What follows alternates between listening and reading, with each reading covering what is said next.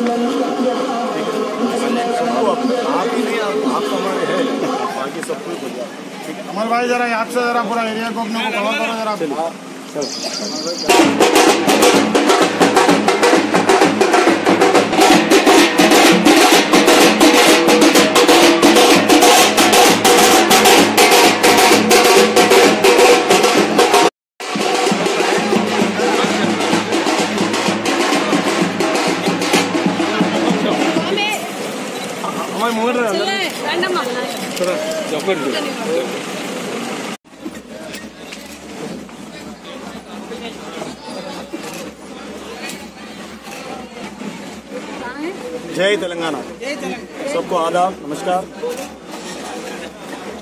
के C R साहब ने थोड़ा जो मौका दिया इसका उनका उम्मीद जो मैं बरकरार रखना चाह रहा हूँ और साथ ही साथ यहाँ ओवर सिटी को जो जो भी आज तक तकलीफा है यहाँ की बेसिक नीड्स जो भी है, खास करके मूसी समझिए और यहाँ जो हैदराबाद का निशान चार मीनार बोलते हैं, उसको जो टूरिज़्म टूरिज़्म स्पॉट जो बनाना चाह रहे हैं तो उसके बारे में सोचते हुए और यहाँ जो भी यहाँ एजुकेशन के बारे में बात करना ये एजुकेशन ऐसी चीज़ है, हर एक को ये, हर एक के वास्ते काम आने की चीज़ है, और ये बेसिक नीड्स है। और इस, इसके ज़रिए अपने को चार ज़रिए रहते तो उसमें जो है ना यहाँ जो है ना, हर एक को इम्पोर्टेंट जो है ना एजुकेशन ज़रूरी है।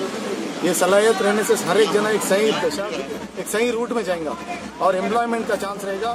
साथ ही साथ मूसी की जो बात करेंगे अपन, मूसी के वास्ते जो है ना, अगर सही इसका काम किया गया यहाँ मेरे को हैदराबाद जो पार्लियामेंट जो है, यहाँ से बहादुरपुरा से लेते हुए मलक पे टेंट तक आएगा।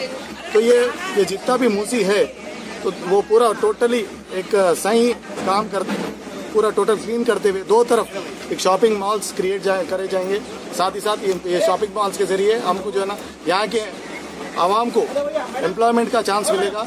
एक लाख से लेकर डेढ़ लाख तक एम्प्लॉयमेंट मिलेगा और यहाँ का हैदराबाद का पूरा नक्शा ही बदल जाएगा। साथ ही साथ के साहब जो जो भी काम कर रहे हैं हैदराबाद के बारे में बात करना चाहिए अपने को। हैदराबाद परफेक्ट और आज नंबर वन शहर में गिनती में आ रहा है। साथ ही साथ लॉ एंड ऑर्डर भी जो है ना, अभी तक जो प्रॉब्लम था, अभी कर्फ्यू का नामो निशान तक नहीं रहा। थैंक यू लगा